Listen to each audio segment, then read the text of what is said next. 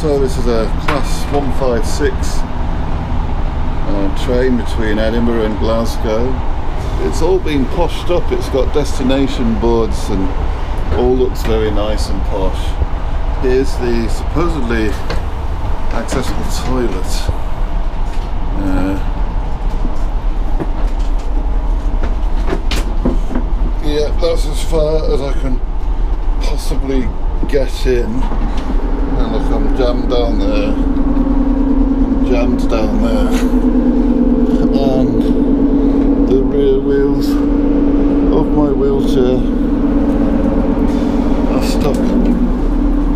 I physically cannot get in any further. I don't know what that's about.